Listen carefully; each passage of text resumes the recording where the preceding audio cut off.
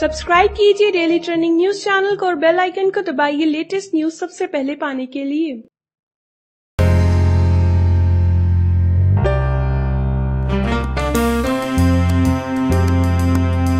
आज 30 दिसंबर को big Boss season 12 का ग्रैंड फिनाले है। जब पता चल जाएगा कि कौन होगा बिग बॉस सीज़न 12 का वो कंटेस्टेंट जिसके सर पे सजेगा जीत का दास। और हासिल होगी उसे बिग बॉस सीज़न 12 की ट्रॉफी लेकिन विनर बनने की रेस में शामिल पाँच सदस्यों में ऐसी दो सदस्य हो गए हैं घर ऐसी बेघर। और वो है रोमिल चौधरी और करणवीर बोहरा। जी हाँ करणवीर बोहरा और Romil Chaudhary Bigg Boss season 12 के फाइनल से पहले ही एलिमिनेट हो गए हैं। ये पाँचों टॉप फाइव कंटेस्टेंट्स घर के अंदर थे। इसके बाद सलमान खान ने पहले रोमिल चौधरी को घर के बाहर बुलाया स्टेज पर बुलाया और उनसे कुछ बातें की। और उन्होंने बताया की रोमिल चौधरी आपका सफ़र यही खत्म होता है। आप इस रेस ऐसी होते हैं बाहर। और इसके बाद रोमिल चौधरी अपने एक्सपीरियंस शेयर करते हैं और सभी का तहे दिल से शुक्रिया अदा करते हैं। इसके बाद कुछ टाइम के बाद सलमान खान करणवीर बोहरा को भी घर से बाहर बुला देते हैं और उन्हें बताते हैं कि आप भी इस रेस से हो जाते हैं बाहर। आप बिग बॉस के घर से निकलकर अब अपने घर की तरफ़ जा रहे हैं। यानी आपका सफ़र भी यही खत्म होता है। अब रोमिल और करणवीर बोहरा के एलिमिनेट हो जाने के बाद रेस में बचे हैं टॉप थ्री कंटेस्टेंट्स यानी कि दीपिका कक्कर